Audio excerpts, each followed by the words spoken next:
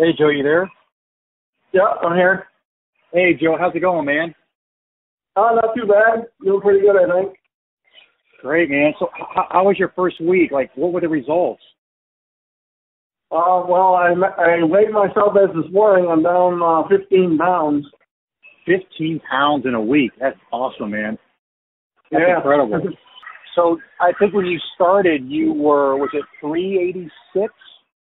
Yep, 386, and as of this morning, I'm 371.